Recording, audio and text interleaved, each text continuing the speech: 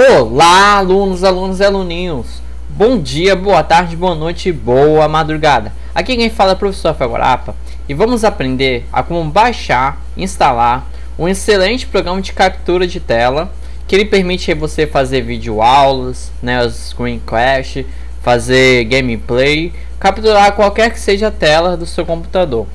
Primeiro, vamos descobrir qual é o site oficial dele. Se você colocar aqui no no Google, né? Você pesquisar, você coloca o termo sample screen recorder. Beleza. Já apareceu aqui. Esse daqui é o site oficial, ó, que aparece aqui primeiro na busca. Você pode clicar nele. E aqui ele vai te dar dicas de como você baixar e instalar. Aqui temos a interface dele e que está com o tempo está sendo melhorada. O, o, mais legal dele e a principal característica é que ele usa o OpenGL.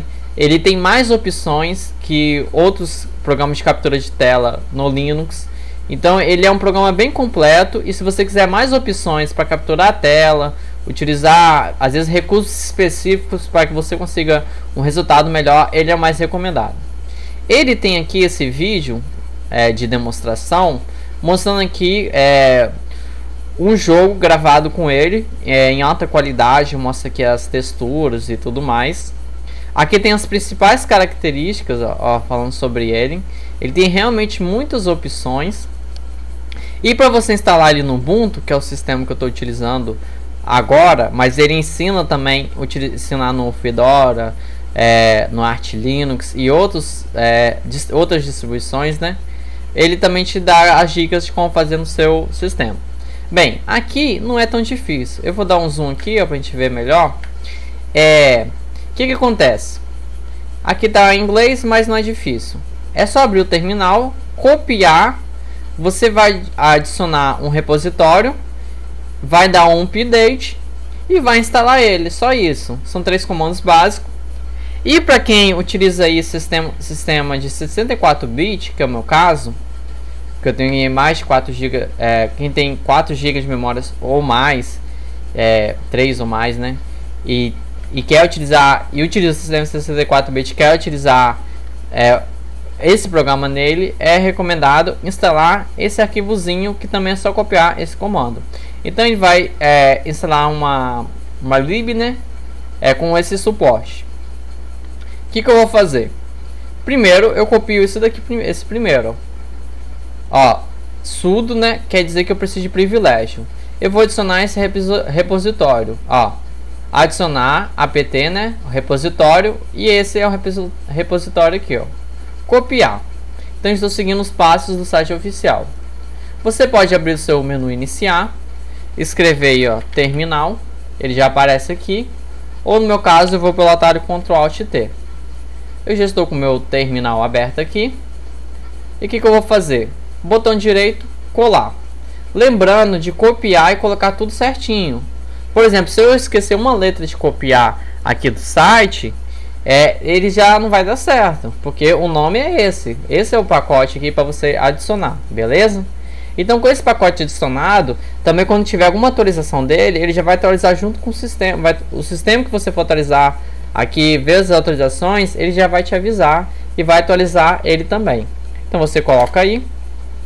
Ele vai pedir a senha do seu usuário, é claro. Igual na central de programas do Ubuntu, quando instala um programa aqui também, ele pede a senha do seu usuário, você coloca. Porque para instalar um programa, adicionar um repositório, precisa de privilégio do usuário. Aperta Enter. Ó. Beleza. Então ele fala aqui, ó, ó, sobre ele. É, Pressione Enter né, para continuar ou Ctrl G para cancelar. Então vou pressionar Enter. Ó. Beleza. Ó. Foi adicionado aqui. Agora o segundo comando. Ó. sudo apt get update. Você pode selecionar copiar, ó. Muito fácil, né? Botão direito. Opa, copiar. Minimiza aqui botão direito aqui, colar. Aperto Enter. ele vai atualizar não somente esse é, repositório, mas todas as listas de repositório aqui do meu computador, seja do navegador Google Chrome, seja da Steam, seja de outros programas. Então ele vai verificar aí todos, ele dá uma atualizada, né? E em poucos instantes ele termina, tá lendo os pacotes. Beleza. Você adicionou ele, você ainda não tem ele instalado, beleza? Você adicionou para você poder instalar. E aqui ele vai obter e vai instalar. Beleza. Minimizo, botão direito, colar, ó, enter. Então, ó, é, a lei é construir os segundos pacotes instalados, é, ó, pacotes serão instalados, que ele falou lá para suporte 64 bits. É, dois pacotes será instalado, é necessário obter 983 KB de arquivo. Após essa operação serão utilizados 2,420 adicionais espaço de disco. Beleza. S para sim e N para cancelar. Aperta S, Enter. E ó, já está baixando. Lembrando, né, essa operação precisa conexão à internet, é claro, que ele vai é, baixar e instalar aí, ó, para você. Então, já com esse comando, ele já vai baixar e já vai instalar. Ó, já está instalando, tá vendo? Ó. Tá aplicando. Beleza. E o último comando é esse daqui, né? Esse aqui, se seu sistema for 64 bits, ó, para que isso aqui é para que ele tenha um suporte melhor, né? Então aqui ele fala em inglês que ó, se o, você for gravar um, um aplicativos, né, tiver que for 32 bits OpenGL, é, em um sistema de 64 bits, você instala ele. Então isso aqui é para ficar tudo certinho. Copiei, beleza. Ó, já terminou. Eu venho aqui, ó, é, colar. Isso aqui é o último arquivozinho, ó. É, já é o apt-get de instalar, ó, beleza, instalou.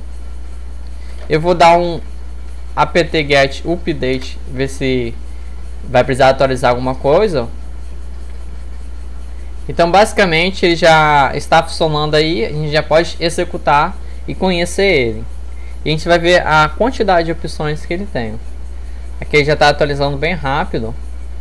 Se vocês gostaram aqui do site, vocês podem adicionar os favoritos, né? Acompanhar as atualizações, é, os novos recursos, né? Ele tem é, várias opções aqui. Então eu já pesquisei sobre ele, já vi que a comunidade usa é, bastante usuários usando ele e para essa capacidade dele, né? Ele é uma licença livre, tá vendo? E ele é de código aberto. Agora eu vou dar apt-get upgrade, ó, só para verificar aqui. Tá tudo certinho, não tem nada para instalar, nada para atualizar. Eu posso fechar meu terminal. Eu posso abrir o, o menu iniciar aqui, ó. E escrever aqui, ó. Sample. Ah, já está aqui, ó. Vamos ver em que lugar que ele ficou. Aplicativos. É, eu acredito que esteja aqui em multimídia, ó. Então em multimídia tem aqui outros programas que eu já testei de captura de tela. Ó, editores de vídeo. Deixa eu descer aqui com calma. Tal, tal, tal. Papapá. Popopô. O Kazan que eu uso também. Inclusive está usando para gravar essa aula. E temos aqui, ó, Sample Screen Record. Sample Screen é que você está usando propriedade NVIDIA Drive. Então, isso aqui que ele fala é para quem utiliza aí uma placa de vídeo. NVIDIA é uma, é uma marca de uma placa de vídeo, é o nome da minha placa de vídeo. NVIDIA GeForce é GT730. É, é, está aqui, é, recorde. É recomendado você desabilitar essa opção aqui. Então, para eu prosseguir, é só marcar a opção sim, pois ele está é, me falando uma configuração recomendada para a minha é, para o meu driver de vídeo para que não dê erros durante a gravação. Eu clico em sim.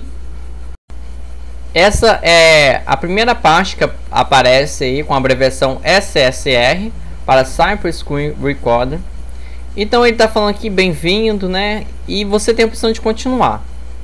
Então aqui você não mexe em nenhuma configuração, né? Não te dá essa opção. Aqui fala sobre ele, mostra uma logo aqui em 3D legal e você pode clicar em continuar. Quando você clica em continuar, é, que você pode ir avançando ou retornando, você configura aí um perfil. Esse, essa primeira opção quer dizer que você vai capturar a tela toda. Se você quiser é, modificar, por exemplo, largura, altura, é, frame, que também tem opção, você pode, né? Você pode usar o, a gravação utilizando o OpenGL, que é experimental. Então grave é, com essa opção com atenção. Você tem aqui um mais detalhado. Em alguns jogos é, pode dar algumas coisas. Eu já testei ele com, em gameplays e ele funcionou muito bem na primeira opção. Essa com OpenGL você pode testar também, mas está em teste. Eu prefiro gravar nessa opção e já vou mostrar já já como ficou a gravação aí em jogos aí é, atuais que utilizam recursos gráficos é, alto é, e ele gravou perfeitamente com muito detalhe já já vou mostrar para vocês então ele reconheceu que a minha resolução que é 1600 por 900 ó, é, ele captura aí também se você é, tivesse imagem de monitor. É, aqui frame, por padrão, ele vem 30, né? E você pode aumentar. Por exemplo, você vai gravar uma tela assim do seu computador, vai mostrar algum programa. Você pode colocar 30 ou até menos, até 15. Agora você vai capturar aí em algum jogo é, que ele tem essa questão de frame, de FPS, que é frames per second né, é, quadros por segundo. Então, normalmente a média de um, de um jogo, é, você rodando ele legal, ele chega aí de 60 de FPS. Então, você deixar aí até 60 fica legal. Pode deixar 50 também, gra grava muito bem. Então, você vai escolher aí a sua configuração que melhor te atende. Então, se for gravar algo mais simples, 30. Se for algo assim como um jogo, você quer capturar melhor, com mais é, detalhes e pegar todos ali os quadros, 50 60. Ele tem a opção de se você quiser escalar o vídeo, então ele tem é, a opção aqui de largura e altura, o que não é recomendado. Então se você quiser capturar a tela inteira o tamanho original, essa é opção aqui. Quiser mudar, você pode mudar aí é, valor por valores, ó. Você, você muda aqui na setinha, digita aqui, né? Eu coloco essa opção. Beleza. Se você quiser criar um novo perfil, você pode. Você clica aqui em novo e ele vai adicionar um novo, né, profile, um novo perfil aí de configurações que você é, adicionou. Aqui ele tem várias opções, ó. Tá vendo? Por exemplo, se eu botar nessa opção aqui, ele não vai capturar meu áudio. Então isso aqui é questão de hardware. Você tem que colocar aqui certinho. No meu caso é alça e padrão, se o seu não saiu o áudio, não tem problema. Você pode testar aqui para ver, é, no seu caso, qual que vai ser, né? Aí é dentro dessas opções. Aqui no meu, no meu caso tem quatro aqui. E alça e o padrão. Aqui ele já gravou beleza, 100% o meu áudio, muito bem. Então essa aqui é a questão de você testar. Você pode testar aqui o alça se tiver. Se você tiver uma questão de áudio, um conector, um hardware melhor aí, que captura melhor o som, algo assim. Ele é, provavelmente vai aparecer aqui, você vai ter que selecionar ele, você pode ir testando até que você consiga é, é, escolher certinho. Escolheu certinho, pronto, tá aqui, eu já sei que é esse, já, ele já fica nessa configuração. Eu posso clicar em continuar. Então essas primeiras, esses primeiros passos são dois passos onde você gravar. Quando você já configura ele, é, você não precisa ficar é, alterando. Então o meu já vem configurado. Por exemplo, eu coloquei aqui a pasta onde que eu quero salvar. Então eu tenho uma pasta que se chama re, re renderizados, né? E eu boto o nome do arquivo 9, por exemplo. Eu posso botar é, 01 e aqui o formato dele. Essa opção marcada, aqui se você dar uma olhada, ele salva meus arquivos mostrando a data dele, né? Então essa opção às vezes é até legal de você saber Às vezes você gravou um vídeo, você saber que dá, você gravou, ele vem no título, né? Vem o, o, nome que você bota aqui, mas ele adiciona essa, essa opção aqui também, o que eu acho legal. Depois eu renomeio o arquivo, mas inicialmente já sei quando foi a data, beleza? Aqui ó, você tem vários formatos como MKV. É, MKV é um excelente formato, grava em altíssima qualidade e eu recomendo muito ele. Tem o, o MP4, o IBM e o OGG. Eu prefiro o MKV. Realmente, é, em todos os formatos que eu trabalhei até hoje, o MKV ele realmente ele grava em alta qualidade. Não tive nenhum problema com ele. E eu sempre quando quando o programa que ele grava nesse formato, eu prefiro escolher ele. O codec dele pode ser um codec que é internacional, em até na minha câmera aqui, ó, minha filmadora Samsung, ele utiliza esse codec, então é muito conhecido, o H264. Você pode trocar se você quiser. Essa opção aqui, ele tem a ver com a qualidade do seu vídeo. É, se eu deixar a setinha aqui, tudo que eu deixar a setinha aqui, ele me fala a informação. O padrão é 23. Se você colocar aqui, ó, o seu vídeo vai ficar muito ruim. Vai ficar todo é, como tivesse vários pixels, tudo vai ficar uma coisa horrível se você colocar em 51. Não é recomendado. Se você colocar em 23, ele grava legalzinho. E se você quiser o máximo aí, você coloca aqui, ó. Entendeu? Você pode, eu testei gravar aqui, ó. O vídeo ficou muito ruim, dá nem para ler direito que tem, não dá nem para ver o que, que é esse símbolo aqui, ó, do o ícone do GIMP, ficou horrível. 23 ele gravou legal, que é o padrão, e eu coloco aqui, ó. É, isso aqui, se eu colocar aqui no zero, é, é melhor. Se você quiser ir uma qualidade melhor, ele vai ficar aí 100% aí, beleza? Aqui tem a, a veia, se você deixar aqui, ó, ó, o speed, né, que ele vai, é, o encode, que ele vai fazendo, né? Isso aqui ajuda, por exemplo, se ele tem recurso aí de gravar, por exemplo, pro YouTube, ele tem esse é, perfil aqui. Se você quiser fazer uma live stream com ele, é, é, quem não sabe o que é live stream, ó, ele vai conectar aí, né? Você precisa de internet, então você vai configurar aí para você acessar aí algum serviço que permita essa conexão de você fazer uma stream é, direto para a internet. Então você tem que ter essa noção, você tem que saber o que é live stream pesquisar e ver qual serviço que você pode utilizar ele. Já de cara aqui, ele te pede aqui, ó, o RTMP dois pontos barra barra que você deve colocar aqui e você configurar pra, é, nele. Então tem essas opções aqui. É, vamos ver. Aqui como eu disse, né?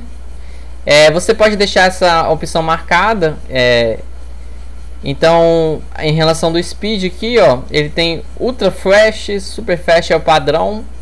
É, vai diminuindo aqui, né, para médio, baixo. Então, normalmente eu deixo aqui no super fast.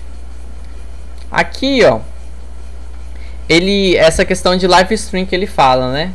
Ele ele permite aqui, ó, é, pular alguns quadros, te ajudar no desempenho aí.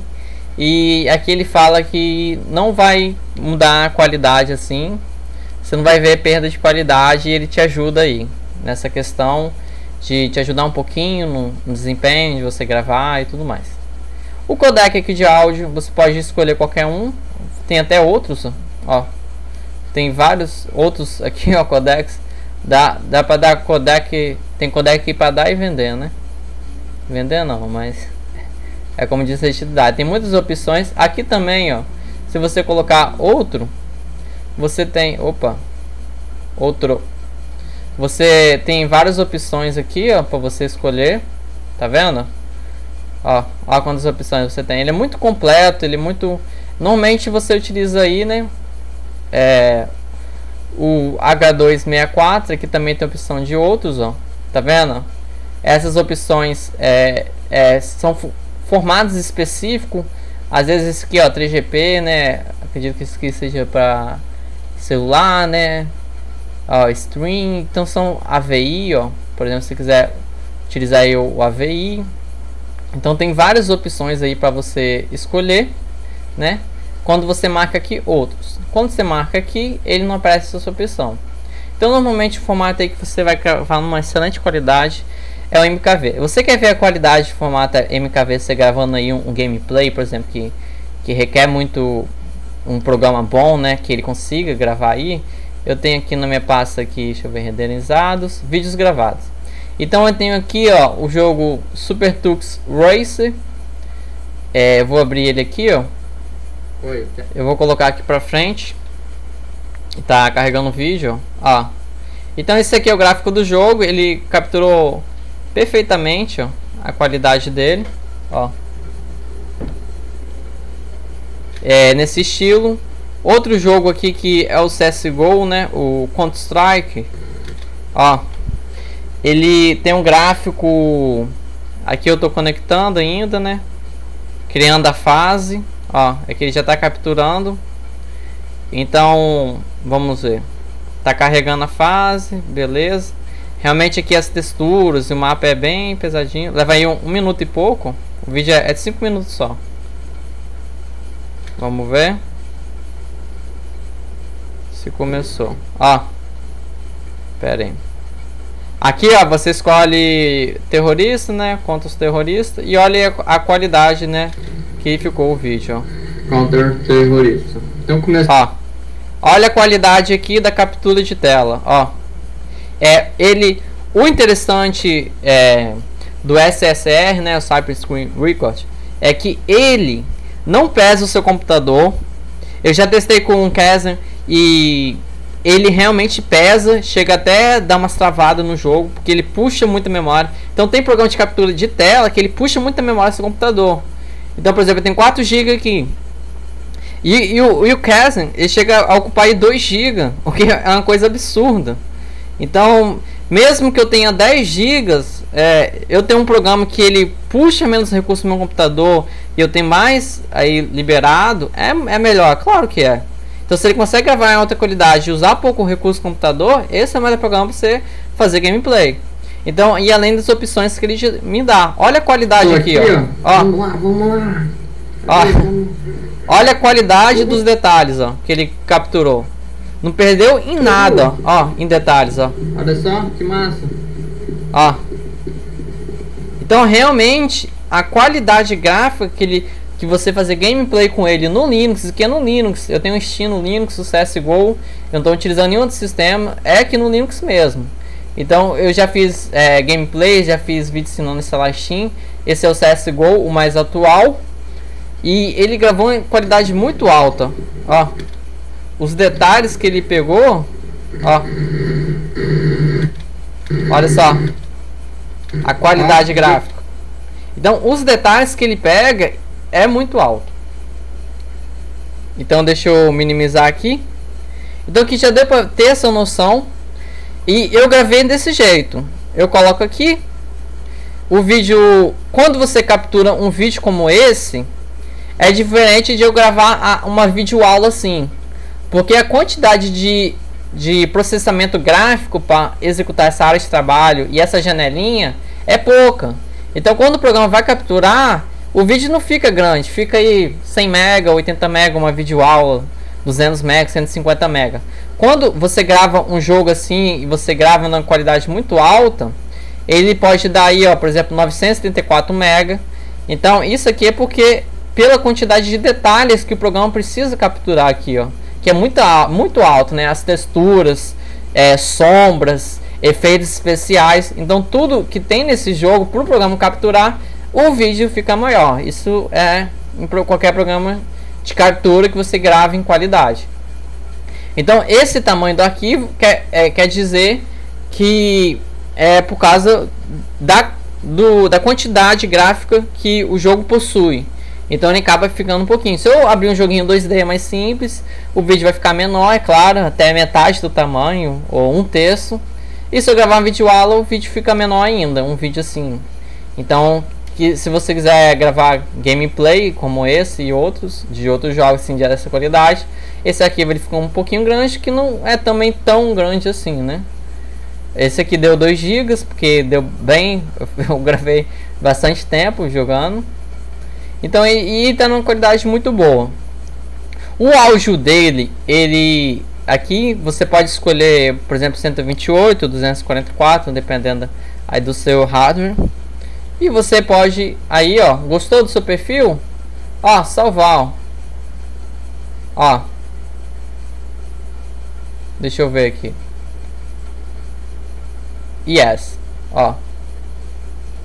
Salvei. Beleza. Se eu quiser criar um novo, eu crio aqui, ó, um novo e coloco o um nome para ele, ó. Continuar. Ah, é. Tá faltando aqui, ó, onde que eu vou salvar, né? Então eu tenho que escolher aqui é, a pasta que é uma pasta que eu quiser qualquer, dar um nome aqui, ó, por exemplo, 01, salvar, ó. Ó, eu vou salvar o meu perfil. Beleza. Então quando você marca uma pasta para ele salvar, você não precisa ficar colocando sempre, porque você salvou o seu perfil, ó. Beleza. Você pode clicar em continuar. Ó. Agora foi. O que acontece? É, ele tem essa opção aqui de, de atalhos, né? Eu deixo aqui é, permitindo, ó, aqui você tira e permite.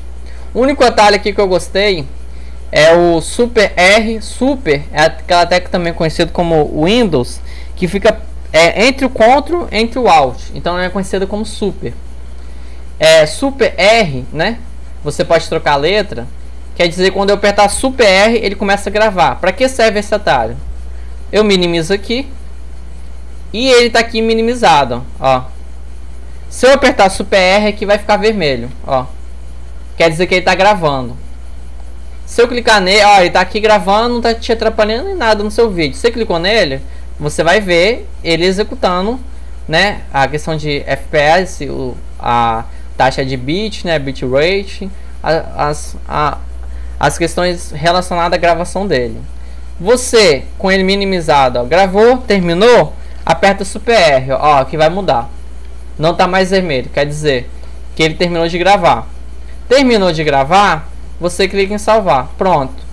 Você clica aqui, ó, retornar ao começo. Aí continua, você já sabe as configurações, já está tudo aqui, ó, não precisa mudar nada. Já está aqui salvo o meu perfil. Continuar e eu clico para o Windows, o Super R ou Windows R, como é conhecido também. E ele vai gravar. Muito fácil, né? A configuração para ele, você faz aí uma única vez. Se quiser cancelar, ele retorna as telas anteriores. Ó. Então isso aqui, ó, uma vez que você configura, está configurado. Não precisa ficar mexendo. Então você pode fazer vários testes para ver o que melhor te atende.